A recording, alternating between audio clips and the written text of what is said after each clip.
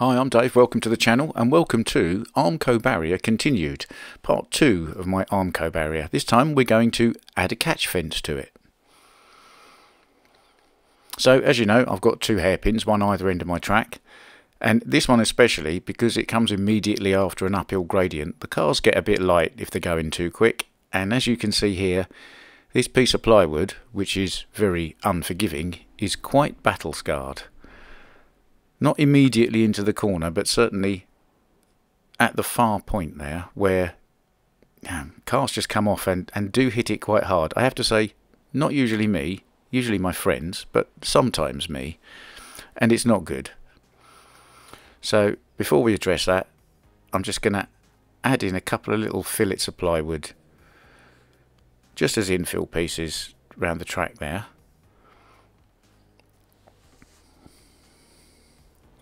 And a bigger quadrant for that back corner.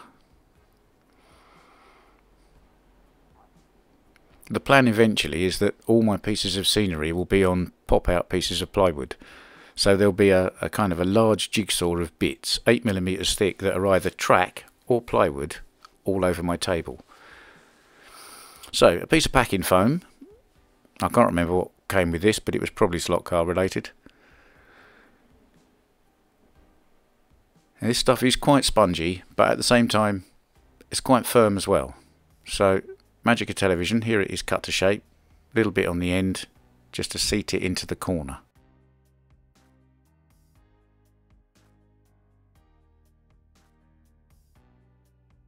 Magica television again, I've sprayed it with some grey primer just to hide it a bit, and put some PVA wood glue on the back.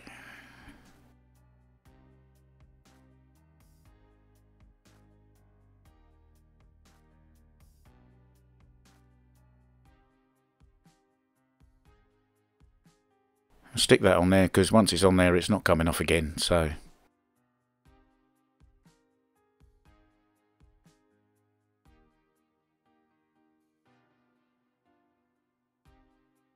That'll do. And now a couple of pieces of that big expensive speaker wire.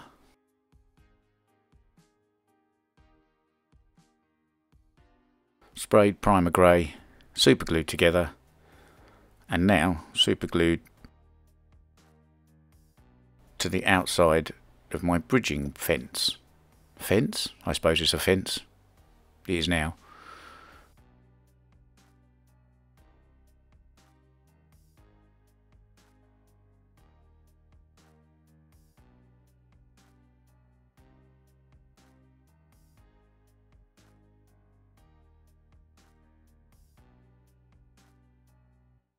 Nobody's going to see that, but I know it's there, so it's done now. Right, now using the quadrant that I cut for the corner, I am going to produce another set of my standard Armco crash barriers. If you haven't seen this video at normal speed, uh, there is one. I'll put a link in the description of this video and probably one of those little pop-up things in the top corner of the screen. But if you have seen it, just enjoy this little fast forward while I make another one.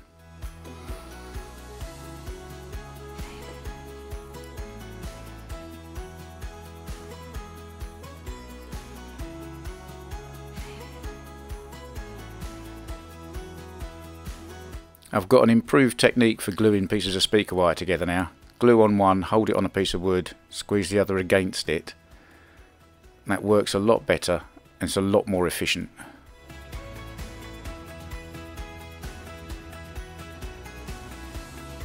There's still no efficient way of doing this bit though.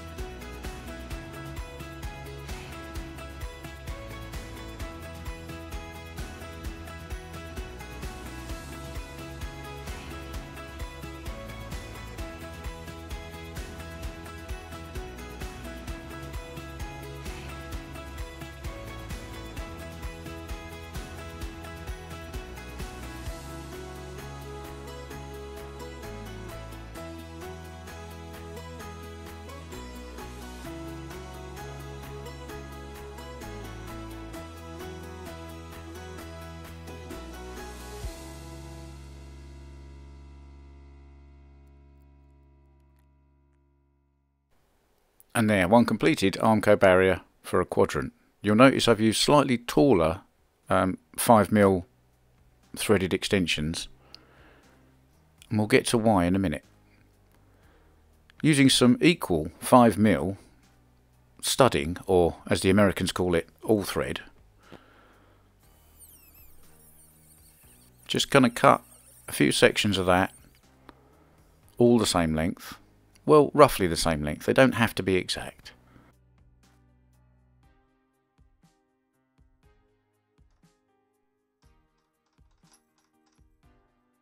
There we are.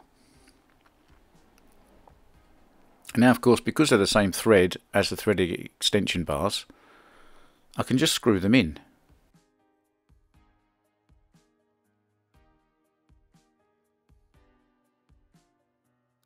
And because I can screw them in, I can adjust them all to be exactly the same height, very easily.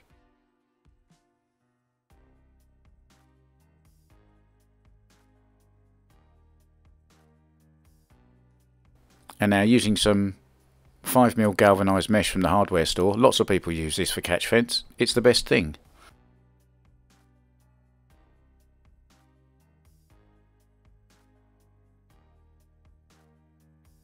Now, remember the paper clips? Here's the other half of the paper clips. I can use this to fix the mesh to the bits of all thread.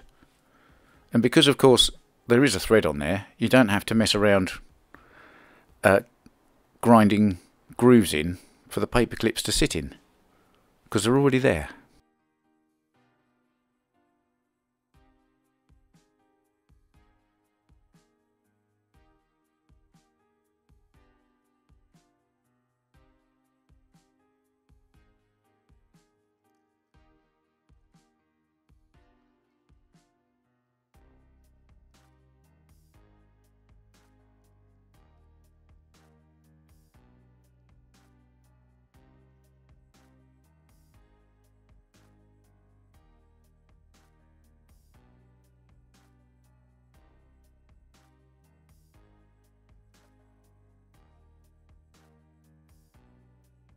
So there we are, that's them all tied in and once again along with the cutters and cut off all the extra bits.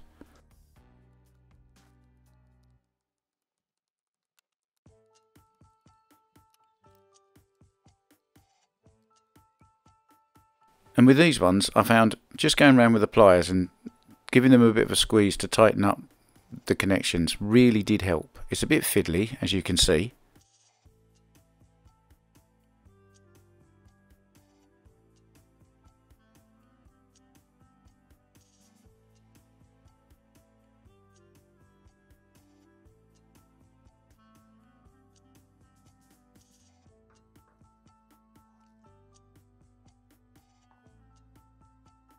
So there we are, that's starting to come together now.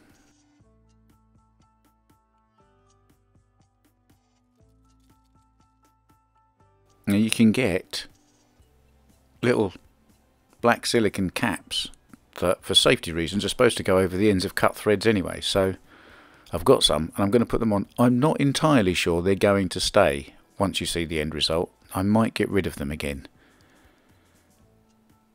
but I thought I'd try it because if you don't try these things, you never know.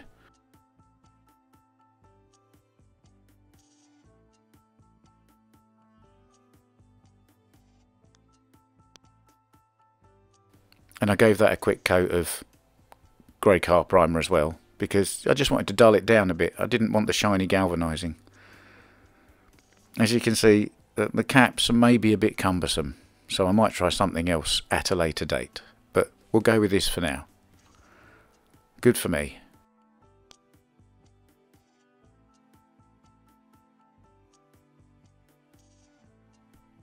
So this piece should now just slot back in.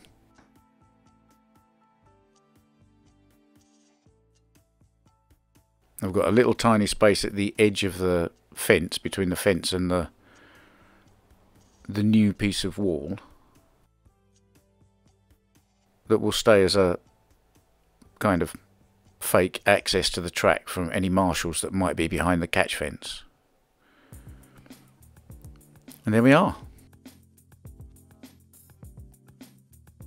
As you can see, I'm still not sure about those top caps on those posts, but it might grow on me, I'm not sure.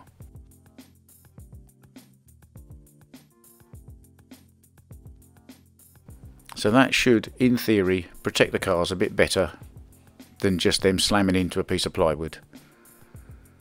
That foam there is nice and squishy, should any cars take off.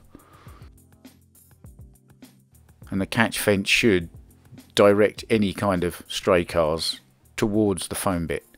As always, thanks for watching. If you like this video, you'll find a button specifically for that. Please subscribe to the channel because then I can open Mrs. SlotR's box soon. And if you hit the bell, you'll get notifications when I post videos. And check out this slot car channel.